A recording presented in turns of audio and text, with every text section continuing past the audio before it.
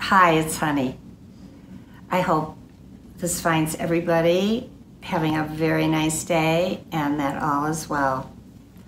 Um, it's National Parents Day, and obviously, I want to honor my mom and dad, and I thought I'd do it by uh, just telling you a little story. And then you could think about your favorite little story and tell your daughters or grandchildren or sons.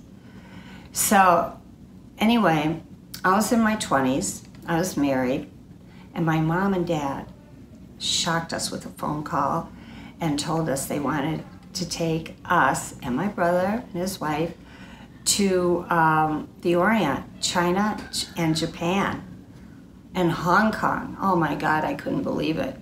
So I had to meet everyone there because I was living in Honolulu at the time and my family was in Chicago.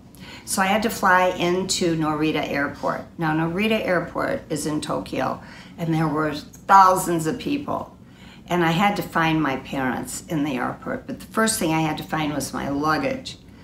And I found it quite easily. And I looked down, and the top of my bag was soaking wet. And the first thing I thought about was, oh, I wish my mother was here.